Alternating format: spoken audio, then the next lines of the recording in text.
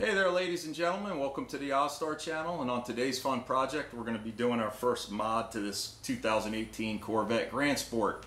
So what's been driving me crazy lately is those government yellow and white labels that are up on the sun visor and um, basically when you're driving because the roof of this car is so low, I even see it like in my newer pickup truck, um, they're in all vehicles, but that glare, there's like a white yellow glare always up there.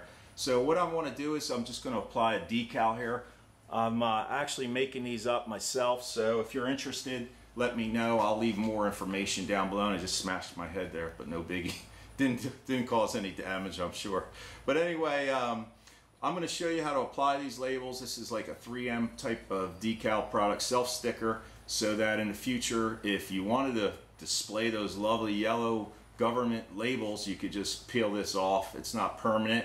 If you do attempt to peel off those labels, heat them up and peel them, they usually leave residue, like a glue residue under there, which is not the look I'm going for. So why don't I take you in the car, I already did the driver's side and I'll compare it to the passenger side for you and you'll see the difference yourself. I'll try to keep the camera as steady as possible. But anyhow, like I said, I've already done the driver's side, left the passenger side for you guys to see. So you can see the stickers right there and uh, over there is the driver's side. It's all done. And as you're looking out the front windshield, that glare is just really annoying. So let's get the decal on there and get that all covered up. This is simple enough. Just peel the decal back. And uh, it's like a vinyl material here. So self-sticky kind of stuff. Hopefully my hand won't be in there in your way. And I make them just a little bigger than the sticker itself. So it should hide it, you know, in all four corners. You know, I'm sure you guys know how to put a sticker on. This is more about the, I guess, the modification than the actual uh, fun of applying the sticker. So there you saw it, and now you don't. It just blends right in, which is great. Maybe I'll consider doing them in a like a satin black matte finish smooth. All right, I gotta laugh because am I like the fastest mod guy in the world right now? I mean, two minutes and the thing's done. I gotta, you know, I gotta find something else to do now. I was too simple. But anyway, a lot simpler than those. Uh, well, we could call them stickers, but when they're $150, uh, you call them decals. You know, you got to get fancy.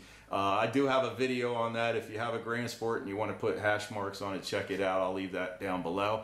But if you are interested in a couple of these stickers, I'm just selling two stickers. You could do whatever you want with them uh, the eight US dollars, and I'll leave a PayPal address down below in the description and comment section. If you want to snail mail me a check, you don't like PayPal, then my snail mail address is in my About section on my YouTube channel, or just contact me. I'll get that information out to you, no biggie. And that's in the 48 US states. So right now, that's what it is. Let me know if you got any mods you'd like me to do on this car. I don't mind spending some more time and a little bit extra money. That's what it's all about, right? Having fun. So let me know down below what you've done uh, or what you think I should do to this car as far as a modification. And uh, if you have any other ideas that you've done with these little stickers on the sun visor, let me know. Appreciate it. So anyway, thanks for stopping by the channel. I'll see you guys on the next one. Take it easy.